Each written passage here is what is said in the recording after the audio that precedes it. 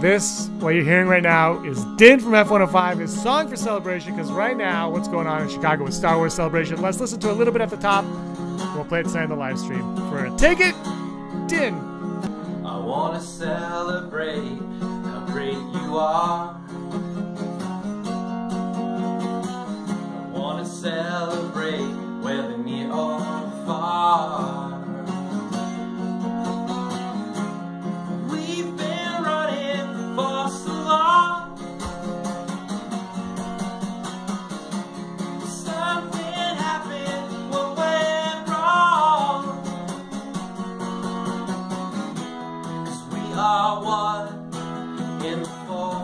And this joining me now is the Dark Lord himself, Darth Ward, is back on the show. Rob McDonald is here. How's it going, Rob? Well, what what can I say? It's uh, one of the greatest, greatest Star Wars weekends uh, of the year, Star Wars celebration. So I had to show up. Uh, it's been really exciting so far. Uh, yeah, you had to show up. Are you in Chicago? It looks like you're not in Chicago. I am not. You know, no. I I just had to show up on the live stream. Is what I meant. Just All to, right. to talk some more Star Wars again. That's what I mean. Well, this is not the live stream. That is another show. this is just Unleashed. Right. Welcome to Unleashed. We're talking Mandalorian Unleashed. Darth Ward is joining me to talk Mandalorian Unleashed because nobody likes Mandalorian culture quite like Rob. He likes the fine dining of the Mandalorians, and he likes the dark sabers that they use as well. One of the first, one of the early on videos that we did, we did all these like weird little videos. You know, was it three years ago now? Three, four, three yeah, years like ago? the something like that. Two and a half, maybe something like yeah, that. Yeah, it was a while ago, and you did one on, on the history of Mandalore and Boba Fett and whatnot. So uh, you're here because you are somewhat excited for the Mandalorian. Somewhat excited is an understatement because I literally feel like at this point I might be more excited for Mandalorian than episode 9 like Rise of Skywalker but it's it's it's close it's close for me personally it's really close I I, I can't wait for the show especially after this panel Yeah, I think I I'm gonna say I think it's fair to say that you're excited for both. If you're excited for both, that's fine. I don't think we have to pin them against each other because I think the Mandalorian is gonna be exciting. No, we that's don't, yeah. happening. That's happening November 12th, and then we're gonna be finished watching that November 12th. Even if it's 48 hours long, we're gonna finish it in one day, and then you know, episode nine, Rise of Skywalker's coming. Um, but yeah, no, I mean, look, what we saw today, what we heard today was uh, was great, and you are going to walk us through all that. yeah and I I think it's just something to touch on uh, have they officially announced that uh, on the 12th they're going to release all the episodes but no, Because regardless, Rob, I will be watching all of them on November 12th. Absolutely, yeah, yeah. the the twelfth is going to be an amazing day for the first episode at least, because yeah, I think it's been a weird thing that a bunch of these streaming services have done now is just they've actually released them weekly, like similar to what like DC has done, like Hulu and Amazon and whatnot. And yeah, just hearing everything about this, like just uh, having uh, Favreau and uh, Filoni come out there and just talk about the show. Um, Ka- Kathleen Kennedy showing up at the beginning as well, bringing out the cast, finding out who these cast members are officially going to be playing. Everybody knew that Pedro Pascal was playing the Mandalorian, but they officially said it. They showed, um, from what I hear, uh, uh, in terms of the uh, clips, they showed him with the mask off and everything like that. So Oh, really? it uh, it looks amazing. Yeah, yeah. Apparently, there's there was there were some shots of like actually him in the costume and whatnot. Uh, we never got to see it on the live stream, but those lucky people uh, in uh, at Celebration did. I tweeted this So- out because we were in Chicago or Orlando for celebration two years ago. We're not in Chicago now, obviously, Yeah. but we were there for two years ago. And I tweeted out, you know, people were saying, "Oh, we're blacked out. This sucks." And yeah, on one hand, we're here right now being like, "Oh, this sucks," but as as someone who has been to a celebration, who has you know taken time off of work to attend a celebration, who has you know, saved up money to attend a celebration, and who Yeah. did not wait in line like a lot of people, but you know waited in a lot of lines still to be at celebration. I I am actually completely okay uh, with the people in Chicago getting treated to something that we were not. Because I mean, look, look, and it's unfortunate, like that I can't be there due to work. You can't be there because of work. We all can't be there for various reasons. Uh, and they gave, they still like they don't have to live stream any of this, but they decide to. So for people that can't make it there, that's nice for us. For people who are there, who spent you know their hard-earned money and their time and all that, give them something. I'm completely okay with that. No, yeah, I'm completely okay with that too, especially like considering you know something like uh, the episode nine um, panel, we pretty much on the live stream got to see everything that, from what I hear, that uh, everyone in the actual. Uh, I think there was a sizzle did, reel right? at the beginning. I think there was a sizzle, like uh, some kind of There- behind the there- scenes at the beginning, but you know, Yeah. Oh, okay, all right. So they did get something, but regardless, it's cool that at least they got something. I mean, I was personally, as selfish as I am about really wanting to see something with this show, I wanted to see that trailer. I wanted to see something uh, more. But you know, from what we did see, I mean, we did get to see one little bit of video, which was them constructing, uh, uh, showing how the Mandalorian ship is going to look and how it was constructed. And that really got me excited too, is just showing them how they were doing the effects and whatnot, how they're kind of like doing it old school, like the old trilogy, all like, you know, miniatures and sh- shots like that. I mean, it's a TV show, so they got a smaller budget than the movie, so it kind of makes sense, number one, for budget wise, that they would do something like that. And number two, just. Uh, in general, for me to see them taking that older school approach is pretty exciting for me, at least. I love seeing that. Uh, yeah, that footage for me, uh, I thought that was awesome stuff. I actually texted Brock. He's he was working during the panel, and I said, "You're not really like you're missing something, but you're not like you are missing what Star Wars fans love, but you're not missing anything in terms of of you know new like newsworthy like oh my god shock value. It was it was." And that's what I got. That's what I got from this panel. The one actually thing that I really took away was the rapport between Filoni and Favreau was excellent. I thought. Yeah, absolutely. Especially when they got into it at the beginning, how they basically said that like uh, back in the older days when they uh, they actually both worked on Sky. I believe it was at Skywalker Ranch, Ranch where they said it, where um, Filoni was first working on season one of Clone Wars, and he was working on it there, and Favreau was actually there working on Iron Man, and that like they both met each other there, and they both said, "Hey, it's like, hey, I'm working on this thing," and Favreau was one of the first people to see Clone Wars at that time, and then uh, um, uh, Filoni got to come in and would be one of the first people to see Iron Man, which was which was also a really cool story and like how they just basically first formed that bond and and Favreau said it's like hey if you ever need a voice or something like that and of course he uh, went on to voice Pre Vizsla on the show for Clone, Clone Wars which is just awesome. And, Well, yeah. talk talk to me a little bit about that because I did go into a little bit more detail on that and about a certain saber as well. Right. Yeah. No. Yeah. It's uh, that was a cool part of it too, where they got into it and they were like basically talking about like those. There were several arcs like uh, that took place uh, Mandalorian wise uh, on Clone Wars, and the specific one was when they introduced Pre Vizsla and the dark saber, and when they talked about how. They revealed that basically they said, "Hey, we got this lightsaber." I forget what the exact word they used. They used like a fake white lightsaber word, and they and then uh, they showed to Lucas, and Lucas was like, "Oh, there's no way that would go up against a lightsaber, right? That would be able to hold its contact, right? It would just get cut in half by a lightsaber." And then uh, George Lucas basically leaves, and then he calls him back the next day and just basically like, "Hey, I created something for you. It's called the dark saber," and then created this whole lore about it. So that was an uh, that was a really cool part of the story to just hear about it, and George Lucas's fingerprints being all over that part of the uh, Mandalorian lore. One thing that I've noticed about this weekend as a whole is how much we've heard the name George Lucas praised by from episode nine, Rise of Skywalker, to Mandalorian.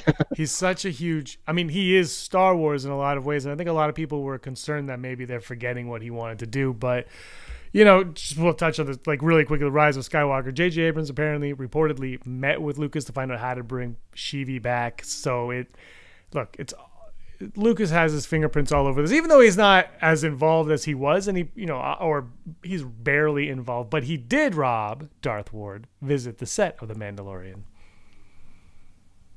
Yeah, he did. Yeah, they uh, they, they didn't really I, I uh, they didn't really mention any specifics as to what he might have done there. Maybe they just didn't want to reveal parts of it. But I'm sure that George Lucas came over there, had a few input things, and pr- we're gonna find to probably find out later like what was his and you know what what he helped out with because yeah, uh, I think Favreau and Filoni like almost. Um, I'm not going to say more, but just as much as JJ uh, value his input and his uh, his take on it all, especially considering that how much uh, of a um, how much Filoni was under Lucas's tutelage, especially at the beginning. I love the comment that Favreau said that any director that came in to work on the project had to be a Star Wars fan. Was that important to for you to hear? Uh no, yeah, absolutely. Like just knowing that um, that the, these these are all people that are passionate about Star Wars, and especially like when the the story in that trailer in that uh, panel that really got me was when um, Pedro Pascal first talked about, and he was he basically said, "Oh, I'm born in 1975, right? So I was like, he was the prime age for these movies, right? That he was this young kid watching the Star Wars movies, and then when he found out, like uh, from Favreau, that he got the chance to be uh, uh, in Mandalorian, and he was like asking him, and he was like, "Oh yeah, I'll, I'll totally be in it. What do you want me to be? Like a, a, an insect, or I forget the exact words he said. He was just fine being anything, and then he's like, "No, I want you as the Mandalorian." And uh, that was just that was just awesome. That was a part of it. Just seeing his uh, that they're not only the director's passion for Star Wars, but seeing the cast passion for Star Wars. I mean, Gina Carano seemed like she was one of the newer ones for for it, but Carl Weathers coming out and just soaking it all in. Like the fact that he even said it's like this might be one of the biggest like you know uh, franchises he's been a part of, and that's huge considering that I mean he was Apollo Creed. Yeah, I think um, Gina Carano and uh, and and Carl Weathers. Gina Carano uh, was very, I think, overwhelmed by the whole experience. I think she was just kind of like she. I think she I think you can know what you're in for, but you never really know until you're in it. And just the awe that was on her face of like, I mean, they, they were in that room with like 10,000 people. And I saw, I was watching, um, because I'm a huge Jar Jar Binks guy, I watched the Ahmed Best uh, sh- uh, stage, the stage show. He came out and was interviewed right. by the Star Wars show.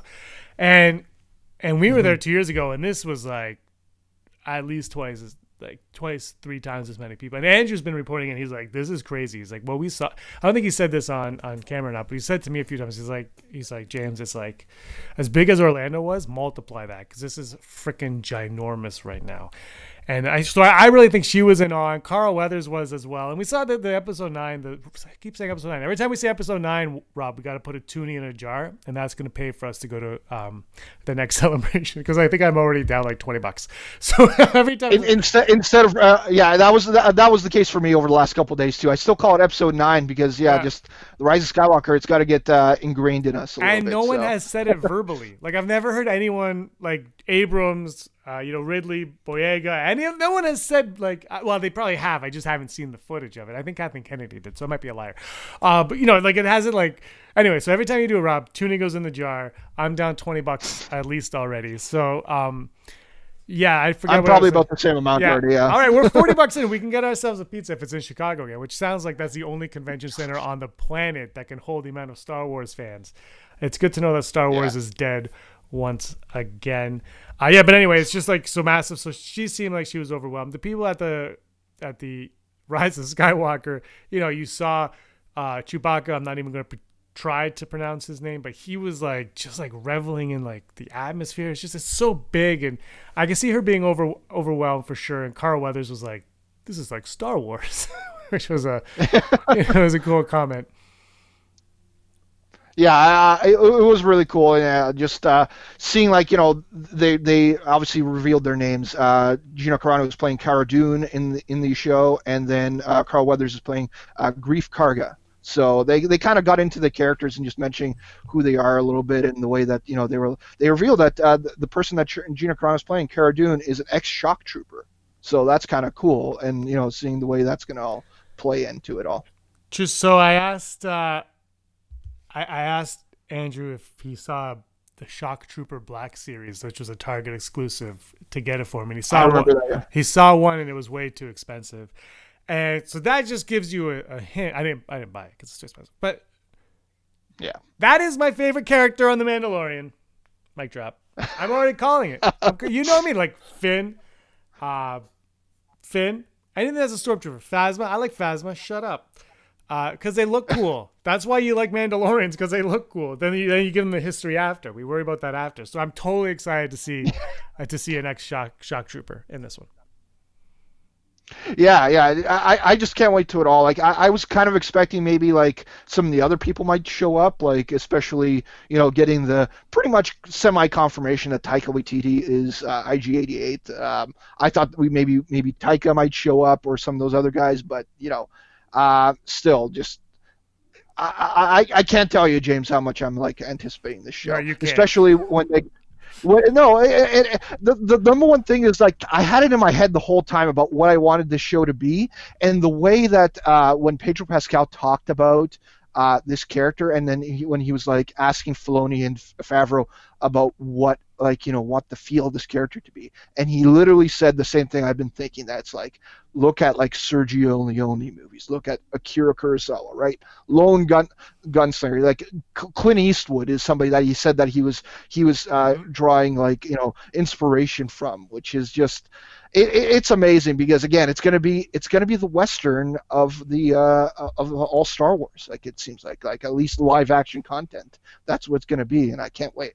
I just want to give a shout out to Jeff Wilson, who just did, while we're recording this, and never tell me the odds, on the show floor with Andrew Fantasia. I think he did anyway. I hope he did. Uh, shout out to him for that. He's there. If you guys are in celebration, you want to meet up with Andrew, just uh, let us know. and We can. Uh, Andrew will run away probably because that's no. Andrew is fine to meet up with you. Rob, I got a really genius idea. Mandalorian drops November twelfth, maybe in Canada. We don't know. If it doesn't, we're going to road trip that day down. It's my sister's birthday. We're going to road trip down to the United States of America. We're going to find someone who lives in Buffalo. I know a couple. We're going to find someone who lives in Buffalo. We're going to break into the house or they let us in, one or the other. We, we, we're not trying to be criminals. We're going to go in. And then we're going to watch the episode of The Mandalorian. But while we do that, Rob, we are going to record your reaction the entire time you watch that hour long episode. The whole thing, just you watching it for the first time. We're recording. Are you in? I'm to- I, I'm totally in. I I want to I want to give content to the people. I want them to see my uh my joy of this thing because it's it's literally off the wall. Like I I. I, I, I don't don't get me wrong. When I mentioned at the beginning where I'm like, oh, I might be just as excited for the Mandalorian as I'm at episode nine.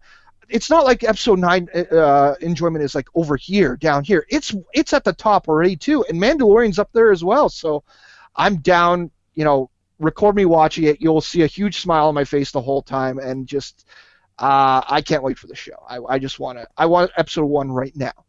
I have the. I, I have. And if I, Sorry, go on. Go on.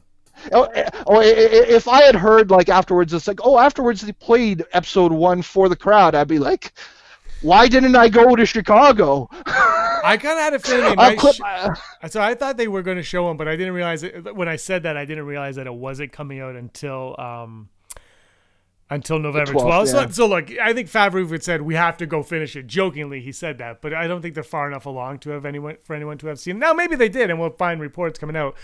Uh, but what do you make of it taking place five years after uh, Return of the Jedi?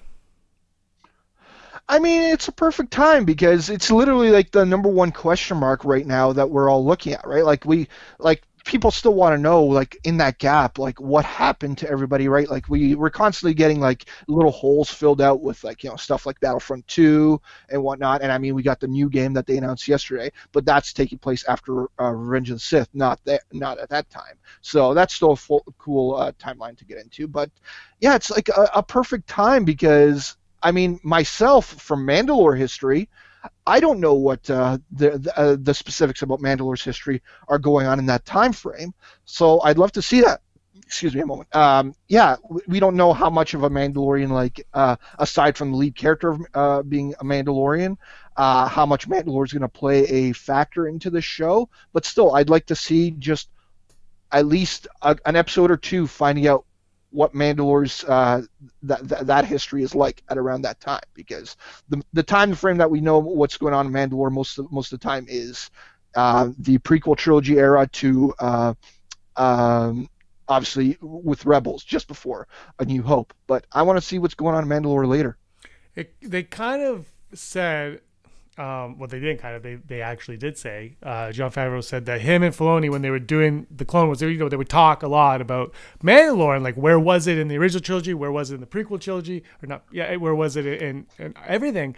And he said now we're just kind of painting it in. So I don't know. In the first season, I, I don't know how much we will get of the history of Mandalore. I'm sure there'll be little drops here and there, but it's been it's being reported that it has already been renewed for a second season. So I could see the Mandalore exploration developing more over time because look, I think you know shows of I, I think have worked like this forever. Is that the first season you've got to get us in and hook us, and then after that you can be like, all right, here's the important backstory that you need to be aware of. No, yeah, absolutely. But at the same time, just something called The Mandalorian, you would expect at least a little bit of Mandalore uh, stuff in there. But regardless, I'm like I said, what hypes me most about is just description of these characters and just hearing uh, Favreau and Filoni and Pedro Pascal specifically talk about this show, and uh, that's what's getting me hyped about it because I didn't hear a single thing that I did not like out of this panel Nothing. You heard nothing. myself. Yeah, like. yeah. No, nothing. Like even when they when they yeah, like uh, I I thought there'd be something that I could take away and it's like oh maybe that's a little bit cause for concern, but it was like I I, I loved everything that they said and you know um we we talked about the ship, but yeah they revealed that it's called uh, the Razor's Crest. It and looks even that- dope. the- the- it, it looks awesome. Like I, I kind of want to like I know you can't find it anywhere, but when it does come out, I want that model and I want that uh, in my room, just sitting there for me to look at. Well, So, you got me the Boba Uh, Fett uh, ship diecast, and now I'm like, move over. Slave One, We yeah. have a new one. no, I'm joking. I still love that. I still love the slave one.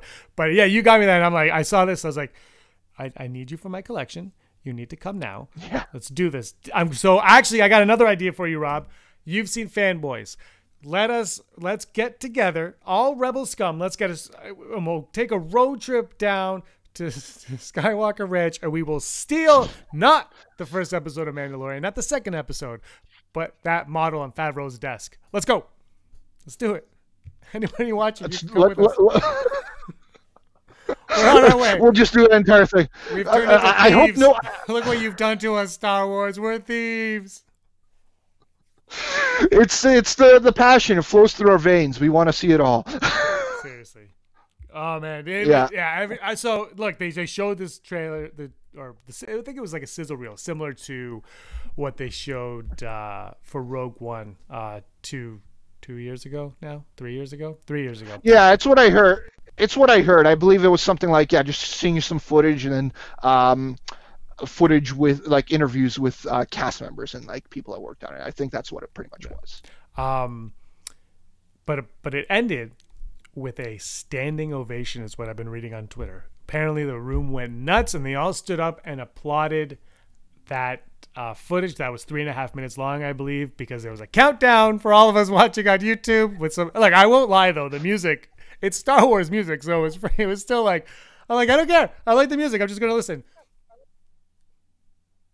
Yeah, I wonder if that's because they announced that uh, Ludwig Göransson is uh, producing the music for it. So I wonder if that was one of his pieces or somebody else did it. Because yeah, the guy just won an Oscar, right? And that score for Black Panther was pretty dope too. So yeah, Solid. I. I, I I can't wait for it. yeah, solid, solid pickup. Solid uh, pickup.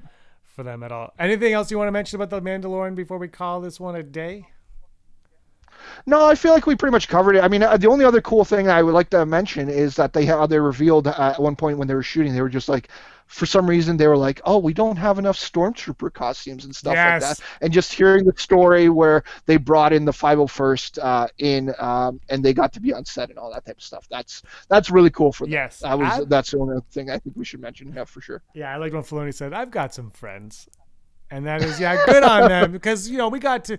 I've seen their costume at uh, Fan Expo, I believe, and then um, Aaron and I checked them out at, at like the, where they had the display at Celebration, and you know, again, you look, you follow them on Instagram and all that, and you see pictures of them, but it's we were sitting beside a few uh, for the um, closing ceremonies and just the hard work and the and the passion they have putting into those things and just and they're and look Filoni and Favreau said like Filoni said he's like sometimes they look better than the movies. And and when you're there you're like like, I don't even know how to begin to do what they're doing with those costumes. So I'm so I'm very happy that they get to be a part of this because this show sounds like it's going to be something special and it's going to live. I don't know if it's going to last a long time on on Disney Plus or not because it might only have the lifespan of two three seasons for all we know what the story is. I don't know, but it seems like it's going to live on, you know, in the in the Star Wars canon lore for a long, long, long time. And I think in 20 years we'll be doing an anniversary for the Mandalorian show for sure.